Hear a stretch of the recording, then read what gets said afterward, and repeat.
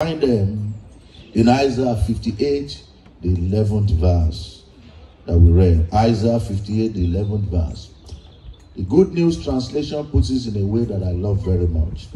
It says, And I will always guide you, Grandma, that's God, and satisfy you with good things. Amen. I will keep you strong and well. Amen. You will be like a garden that has plenty of water, Amen. like a spring of water Amen. that never goes dry. Amen.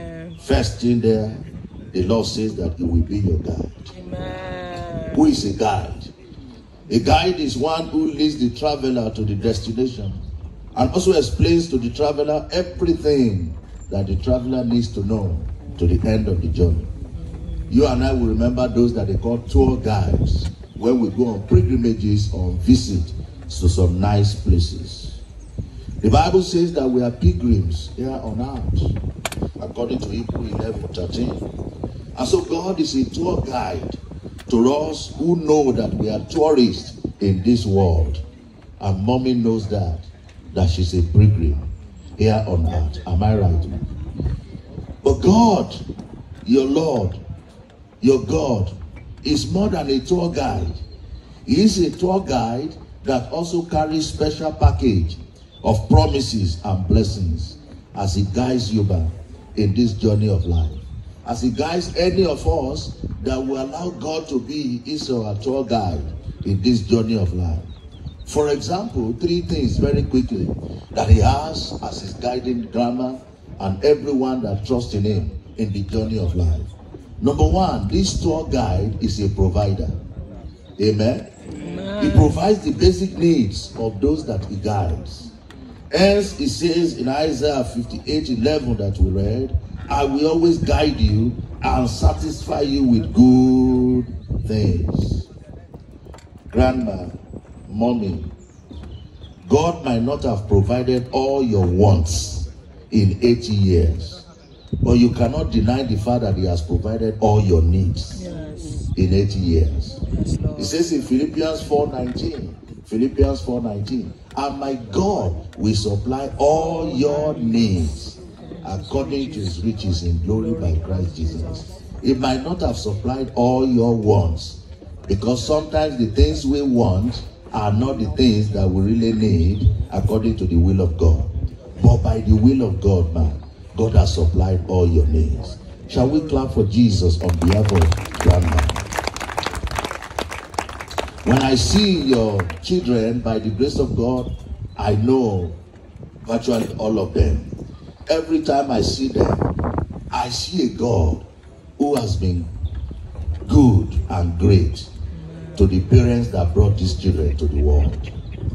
That's a promise fulfilled, and that's a promise that God has kept.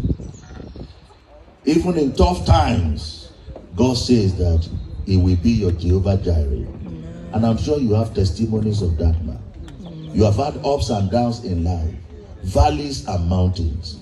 But in all that, you have never failed to see the presence and the goodness of God.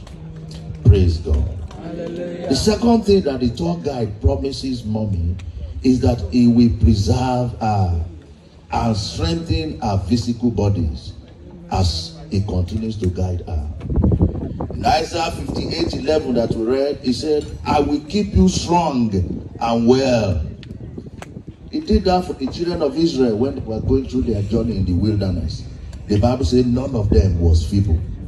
Even at age 120, scripture says that Moses' eyes did not go dim and his natural forces did not abate. Glory be to God that kept mommy strong and healthy. I came in and she jumped on her feet. I read the Bible passage and mommy was on her feet.